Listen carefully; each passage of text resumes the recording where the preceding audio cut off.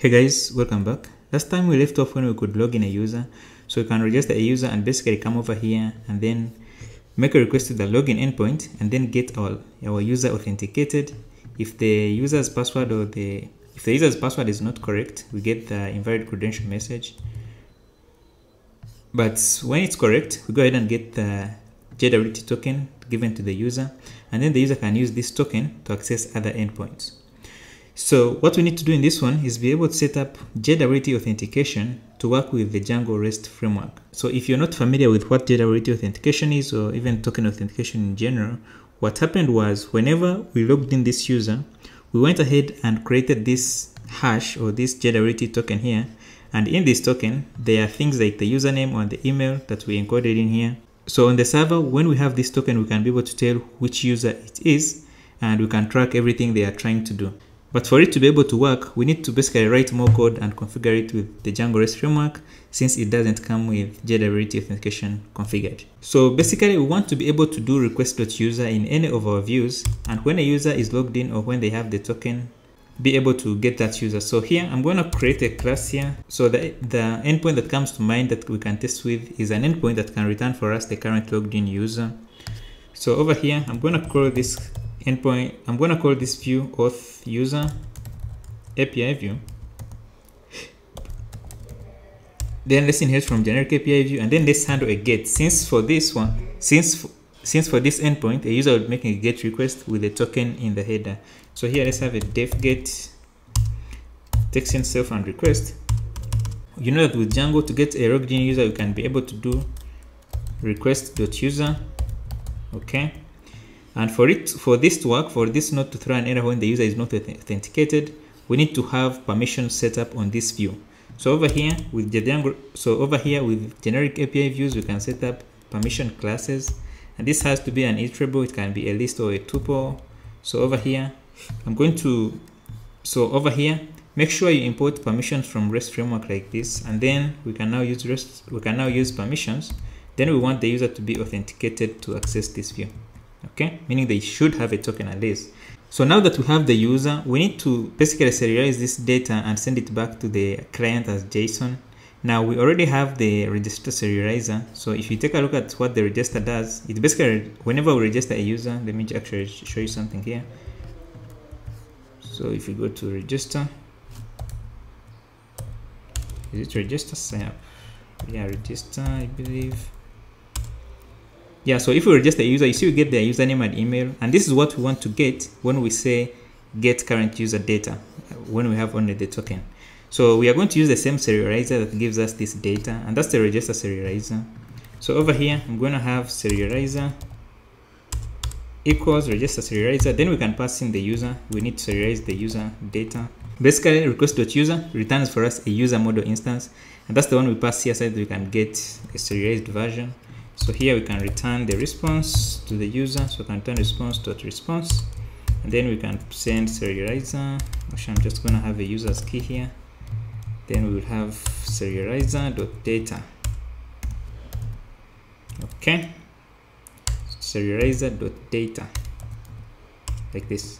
Okay so now that we have this view we need to hook it up in our urls so i'm going to go to our urls and also have the one that has a slash user then it's gonna be auth user API view. Let's change the name so it's unique. So basically now we can go in here and make the get request to our URL. So we can do slash user. So when you do this, you see straight off we get authentication credentials were not provided. And that's because we are not providing them. So what we need, we need to go to our login and get that token we get. So let's make the post instead. So when we get the token, we are going to copy it. And then now if we go to our auth in postman you have the auth tab so you can use this. You want to select bearer token. Now what happens when you select bearer token is here let's say we put the token here. Postman will be making the request but it's gonna be prefixing this token with a bearer like this. Bearer space then this. So this is something you will need to do manually if you're not using something like this postman. But you can see that the scheme is implemented using this convention. So you have the bearer space, then the JWT token. So here, if we make the get request with the token, so I'm gonna go to here, then we do the get to the user. you see that still we are not able to get that user even when we are passing a token and we are sure we just got it from login. And that's because we need to set up JWT authentication for our application. So to be able to set up a an authentication scheme, we are going to need to create a class that inherits from base authentication. I'm going to create another module called jwt.py. So over here, I'm going to reach out for some things from REST framework. So I'm going to go REST framework authentication. We're going to import get authorization header. We're also going to import base, base authentication like this. Okay, so here we can set up our class. So I'm going to call this class JWT authentication. Then we are going to inherit from base authentication. So if you go to base authentication, you will see that we need to implement a method called authenticate. And all this stuff is documented here. So if you go to the documentation you will see that for you to be able to create a custom a custom class to authenticate you need to inherit from this class and implement the authenticate method so our goal in the authenticate method is to be able to return the user and the token once we have them or throw an authentication failed exception. So that's what we need to do. So over here let's go ahead and implement the authenticate. So in JWT let's have def authenticate. Okay. Okay so in authenticate what we need first is to get the authorization header. Now here we can do authorization i'm just to say auth header. So from REST framework authentication we have this helper to get the header. So you can say get authorization header then we pass it the request. Okay? So that's to give us the headers but the headers come in a format that we need to first decode and make sure that python can easily work with with, with the data. So here you can say auth data equals auth header. Then we want to call decode. Then we can pass in the encoding. So we're to use utf-8 and then here we basically have the token string we can work with. So now that we have the auth data as a string we can go ahead and split it so that we can get the token. So here i'm to say auth token. So this is to be auth data. Then we can call split on it. So we're to split by the space. Okay. So here i'm to do a simple check to make sure that we have the the user is sending a, a token in a correct format. So i'm to do if the length of the auth token because when we split so when we split it's going to give us a list with two items bearer and then the token string itself. So here we can check if it's not two. So if it's not two then we can raise an exception. So i'm going to do raise. Let's import exceptions. So from rest framework import exceptions. So here you can do raise exceptions. Then we want to call authentication failed and then say something like token not valid okay? So if this passes that's going to mean that we have a valid token we can check. So here i'm going to have a token variable. This is going to be now this this now is going to be the token in the first index because now we have bearer in the first index and then we have bearer in the zeroth index and then token in the second one which is one actually. So you can do auth data auth token then one. Okay? So now that we have the token remember remember our our method our authenticate needs to return the user and then the token. And the user has to be an instance of our django model. So over here we need to get now the user who has this token. So what we'll do is we're going to first decode it so we can get the username from it. Since as you know in our models whenever we assign the whenever we assign a token to the user we encode in there the username and then the email so we can get this very information to be able to query our model by that user. So over here i'm going to have a payload variable. Then it's gonna be let's import jwt because now we need to to decode our token. So import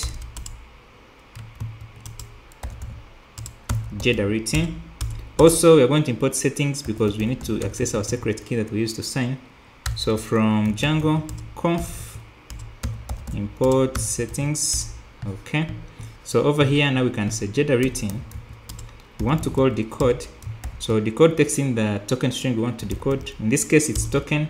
And then the second one is the secret key we used. So ours is, is in the is the set is the secret key in settings. So here you can do settings, secret key. Then the second part we need to pass in the algorithms key. So this is going to be either a list or none. So it is required that we pass it in. If we don't pass it in it's going to fail. So here we pass algorithms. Then let's see the one we used. It must match the one we used when we were creating that token. So we used uh, hs256 and that's the one we want to use. So i'm going to come over here and pass it as a string like this. Should be fine so now actually here, since we are decoding the tokens, it's likely that when we fail to decode the token, our application is gonna throw errors. So what we wanna do here is wrap everything in a try except broke. So I'm gonna have a try, and then I'm gonna just indent everything in here. And then let's have a, an except. Let's have an except so we can handle our errors properly. So except first off, we want to handle when the token is expired. So you can do handle jwt dot expired signature error. Okay. So here now we can also raise an exception like this.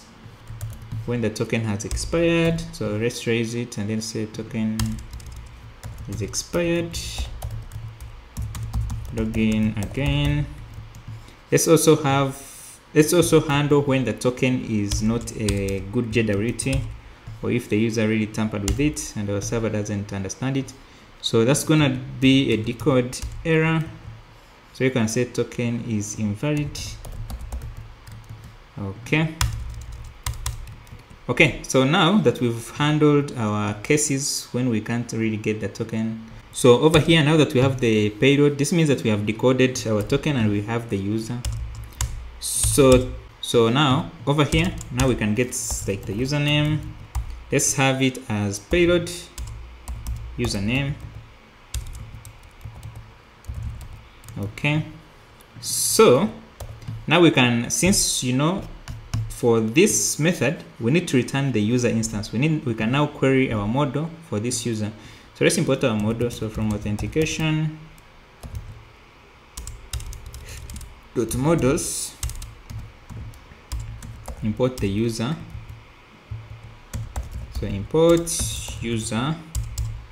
Okay so now over here we can now say user equals user objects dot get user username. So this might also throw an error. So when it throws an error the error will be handled inside these excepts. So to handle that we can also accept ex, accept user does not exist. This one has no user. Okay. So here we can also raise an exception. So we can have something like raise exception no such user. Okay. Okay so if this goes well we will have our user and now we can return this user with the token. So you can say return we need to return this as a, if we take a look at the documentation we need to return it like this. So we can return user and also the auth token. Actually the token itself the token string which is token here. Okay. So now if we go back to our postman and we try to do the same request notice that it still fails and that's because the django rest framework doesn't know that we were creating a class that we think can authenticate for us so what we need to do is we need to go to our settings.py and also tell the Django REST framework to use it for authentication. So we'll go anywhere around here and then we are going to set up a REST framework config and in here we want to set up the default authentication classes and use our own. So if you go down here, we're going to have something like this. I'm going to bring it in. So here we can now put the path to our authentication module. So in our case, it's going to be in authentication, which is the app and then we want to do .jwt .jwt authentication like this. Okay so now that we have this then we can go ahead and now test it again. So I'm gonna go to still the same request and click send. So notice that we get token not valid. Yeah so you notice that here we are sending it like this but we want to since we are using postman it's already adding the it's, it's already adding the bearer. So we want to remove the bearer ourselves and then click send and now you can see that our application is sending us the user who has this token so the way that's happening is in our view we just do request.user and uh, Django REST framework will already have done the authentication using the method we described here. Okay, so that's it. That's how we go about setting up the JWT authentication scheme with Django REST framework. Now, I want to mention that there are some libraries that you guys can use to implement most of the use cases for, for JSON Web Tokens. So the recommended one is Django REST Framework Simple JWT. I have some tutorial on those. I will basically leave a link for the series where we use this in the description if you guys want to see how we use it. So it can cover a lot of use cases, but I wanted to show you what exactly happened behind the scenes. I believe even with that module itself, they go ahead to implement something like this. But the good thing with it is they already have already the code written. You can just use it. But it's it's really important to know how things are working under the hood if you want to implement things that are in the similar nature. So yeah, that's gonna do it for this video. I hope it was a little helpful. If it was, please give it a thumbs up. Don't forget to subscribe to the channel and I'll talk to you soon. And by the way, if a user here enters something that's not correct, see we get token is invalid. But yeah, so our stuff are working good. I will talk to you guys in the next tutorial. Thanks for watching. Peace.